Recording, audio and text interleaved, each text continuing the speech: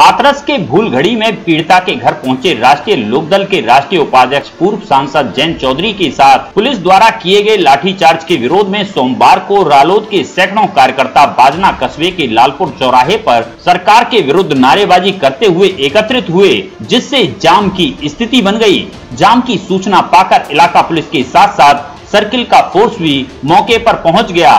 राष्ट्रीय लोकदल के कार्यकर्ताओं ने मुख्यमंत्री योगी आदित्यनाथ और प्रधानमंत्री नरेंद्र मोदी का पुतला दहन किया, जहाँ रालोद के कार्यकर्ताओं के आगे पुलिस बेबस नज़र आई। प्रभारी निरीक्षक लोकेश भाटी से राष्ट्रीय लोकदल के कार्यकर्ताओं की झड़प हो गई। राष्ट्रीय लोकदल के नेता योगेश नोहवार के समझाने पर बमुश्किल कार्यकर्ता शांत हुए।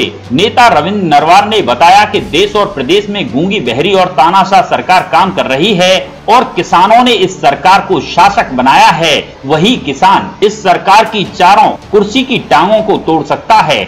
इस दौरान विगत दिनों नौहजील में फूके गए योगी मोदी के पुतलों के प्रकरण को लेकर रालोद कार्यकर्ताओं पर थाना पुलिस द्वारा की गई कार्यवाही को लेकर योगी सरकार के विरुद्ध नारेबाजी की गई। प्रदर्शन में रालोद के सैकड़ों कार्यकर्ता मौजूद रहे तो वहीं पुतला दहन के दौरान हाथरस में दबंगई दिखाने वाली पुलिस मथुरा ज़िले के थाना नौजील के कस्बा बाजना में एक बार फिर कार्यकर्ताओं के सामने बेबस नज़र आई। पुतला फूकने के दौरान रालोद कार्यकर्ताओं और पुलिस के बीच काफ़ी झड़प देखने को मिली। मीडिया से बात करते हुए रालोद नेताओं ने बताया कि आगामी 12 तारीख को मथुरा में इस गूँगी बहरी सरकार के खिलाफ बहुत बड़ा आंदोलन किया जाएगा जिसमें दिखाया जाएगा कि किसानों में कितनी ताकत है।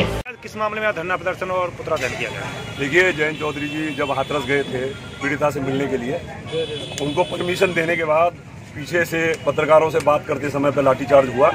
उसकी हम भरसक निंदा करते हैं। और जिस प्रकार से किसान और मजदूरों की जो आवाज़ है, जयंत चौधरी, उनकी आवाज़ को दबाने का जो इन्होंने सरकार ने काम किया है, ये योगी सरकार के इशारे पे हुआ है।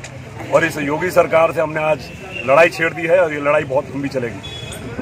और इसके बाद हम 12 तारीख को बहुत बड़ा आंदोलन करने जा रहे हैं। जो कोशिश की जाएगी कि एक्सप्रेस वे के आसपास हो। और अगर हमारे किसान और मजदूरों पे जो मुकदमे इन्होंने लिखे हैं और लिखने की योजना बना रहे हैं तो जो दबाव की राजनीति ये करना चाहते हैं, उसे खत्म करने के लिए हम 12 तारीख को बहुत बड़ा आंदोलन करेंगे और हमारी मांगे नहीं मानी गई तो इस एक्सप्रेस वे को जब तक जाम रखेंगे, जब तक हमारा जी जाएगा और जब तक हमारी मांग पूरी नहीं की जाएगी। जिस तरह राष्ट्रीय लोकदल वालों ने धरना प्रदर्शन किया है, अभी चार दिन पहले नौजी में किया था, उन लोगों का भी मुकदमा लिखा, लिखे गए हैं। आज भी पुलिस से यहाँ लगभग भिड़ंत हुई है। देखिए, मैं आपको याद दिलाना चाहता हूँ कि जब जब हम लोगों ने आंदोलन किए हैं 2009 में भी आंदोलन हम पे हुआ। आंदोलन हमने किया, मुकदमे उस आंदोलन में हम पे लिखे गए। सरकार को झुकना पड़ा और मुकदमे वापस लेने पड़े। ये सरकार गलत फहमी में है कि इनकी सरकार सदा रहेगी। ये सदा रहने वाली सरकार नहीं है, सरकार इनकी भी जाएगी। और जिस तरीके से बुरा व्यवहार ये करने की योजना इन्होंने बनाई है, ये भी तैयार रहें। ये चीज़ें हम भूले नहीं हैं। नीट का जवाब इन्हें पत्थर से दिया जाएगा। और कोई भी गलती जो इन्होंने गलती की है, ये माफ़ करने योग्य नहीं है। किसान के मसीहा चौधरी चरण सिंह के बेटे पे लाठी इन्होंने चाहे मारी है। ये चीज़ें आत्मा को झकझोर के रख दिया है किसानों को, मजदूरों को। ये हमारे नेता को इन्होंने आत्मघाती हमला किया है नेता को मारना चाहते थे। ये तो कार्यकर्ताओं का धन्यवाद देना चाहता हूँ, जिन्होंने अपनी छाती अड़ा करके बचाने का काम किया। और ये लड़ाई हमारी जब तक रहेगी, जब तक ये सरकार गिर नहीं जाती इनसे आर पार की लड़ाई लड़ने के मूड में है। एक और बात योगेश जी बताइए ये जो तीन किसान अध्यादेश लाए गए हैं सरकार द्वारा इसमें आपकी पार्टी भी विरोध कर रही है? क्या मामला है? देखिए ये लाठीचार्ज ही उस अध्यादेश का हमने बहुत ज़बरदस्त विरोध किया एक तारीख में बहुत बड़ी हमने रैली भी की थी। उस अध्यादेश का जब जयंत चौधरी ने ज़ोर पुरजोर तरीके से विरोध किया उसी के चक्कर में ये लाठीचार्ज इनके ऊपर किया गया है। और ये जो अध्यादेश है इसमें कहीं पर भी एमएसपी का नाम निशान नहीं है, एक लाइन भी एमएसपी की नहीं है। और हमारी बहुत बड़ी मांग है कि जब तक एमएसपी की गारंटी ये लोग नहीं देंगे, जब तक ये लाइन नहीं जोड़ी जाएगी कि एमएसपी से नीचे कोई आदमी अगर किसान की उपज को खरीदेगा तो उसके खिलाफ कार्रवाई होनी चाहिए। ये लाइन अगर नहीं जोड़ी जाएगी, जब तक ये काम नहीं चलने वाला। कॉन्ट्रैक्ट फ़ार्मिंग ये लाए हैं उसमें। कॉन्ट्रैक्ट फ़ार्मिंग से छोटे किसानों को बहुत बड़ी तकलीफ़ होने वाली है।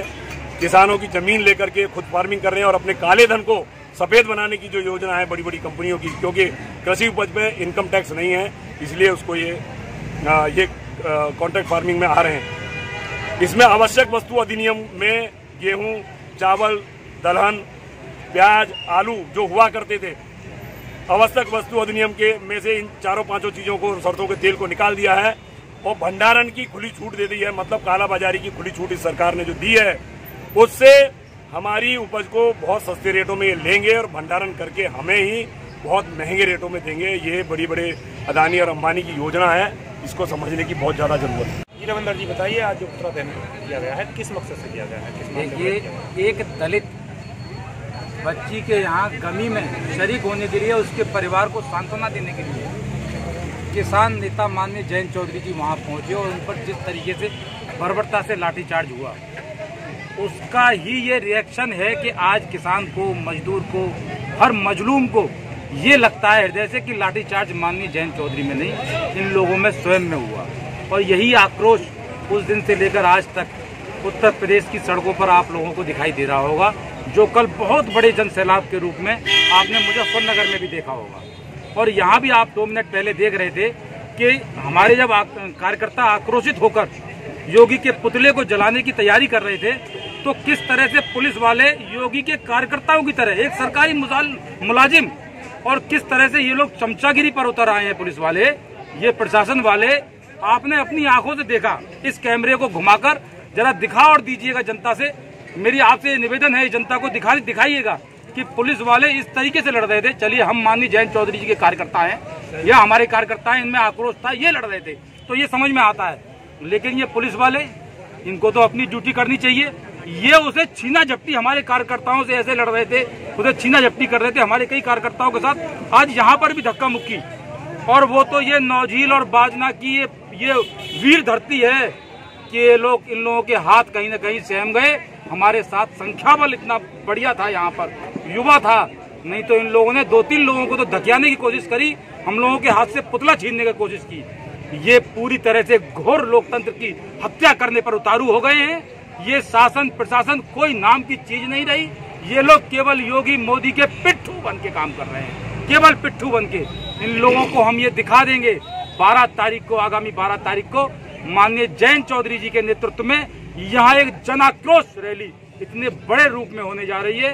इन लोगों को ये एहसास करा देंगे कि यहाँ लोकतंत्र ही चलने वाला है। लोकतंत्र ही चलेगा।